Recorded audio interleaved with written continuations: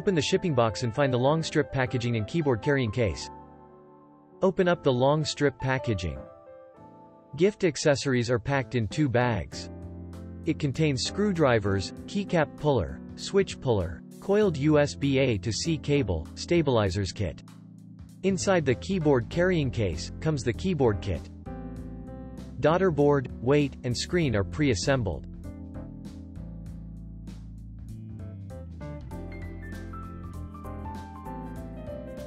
The rest of the parts are in the upper drawer. The small accessory pack contains rubber feet, top case screws, gasket silicone pad. PCB accessory pack contains 2.4G receiver, plate foam, PE sheet and the PCB. Then, your choices of plates. Here are other tools needed, lubricating grease, brush, tweezers, pH screwdriver, scissors, switches, and keycaps. First, stick the rubber feet. Then, unscrew the 8 hex screws on the back. Test the PCB trigger before assembly. Please make sure the metal pins are facing up when plugging in the Molex cable. Open the battery switch next to the caps lock key. Download QK config.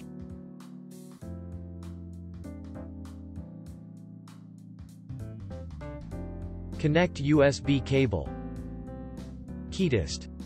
Short each switch socket with tweezers one by one. Test if the keys trigger correctly. If there is a problem, please contact the administrator in Discord or your local vendor. The front test allows you to see the key trigger more intuitively. If it is difficult to trigger from the front, you can test it from the back. If PCB cannot be correctly identified by your device, unplug the keyboard and the Molex cable. Remove the five screws holding the internal weight.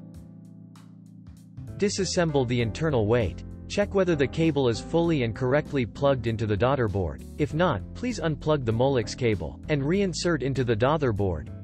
Plug the other end of the cable into the PCB, and plug in the keyboard cable again. Check whether the software can detect your keyboard. If there is no problem, reinstall the internal weight. In addition to the power supply, the identification problem is also likely a result of keyboard switched to wireless modes. Install switches in the FN and tab position first. FN is the key on the left of your left arrow. Switch modes by FN plus tab to see the light under ESC flash twice, indicating that it is in wired mode. Confirm the layout to be assembled. Stick the Teflon on the PCB. Please note the positions where the stabs are installed need to be pasted. Apply lubricant evenly to the wire. Put the dummy switches into the housings correctly. Insert the wire into the second hole of the dummy switch. Then clip the wire. Cut the excess part of the PE sheet according to the layout to be assembled. Optional, put on the PE sheet. Snap the stabs onto the PCB with the screw in the small hole and the clips in the large hole. Screw in the screw with a washer. Check whether the stabs are fixed properly. If you would like to use the plate foam, put on the plate foam first then the plate. Before installing the switches, check whether the switch pins are bent. If any pins are bent, you can fix them using a switch puller. Before installing the switches, carefully align the switch pins and hot swap sockets. If you want to use the regular caps lock you need to make sure the switch is north-facing. If you are using soft plates such as POM or PC plates, or if you are not using plate foam, ensure that the switches are properly affixed on the plate.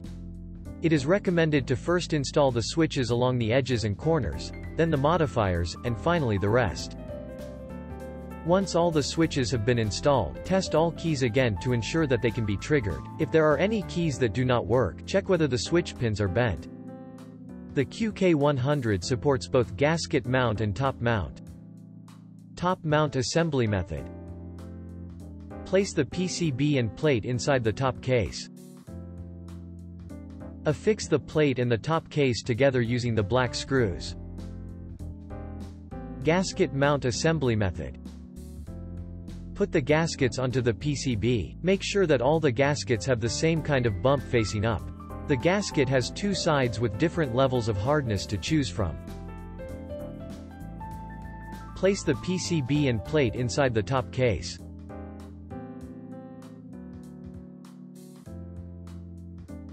Connect the screen cable to the PCB.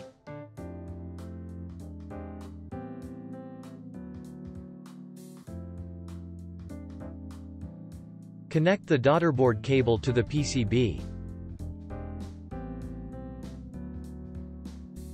Place the case foam on the back of the PCB. Put on the bottom case. Tighten the screws on the bottom case. It is recommended to install them diagonally.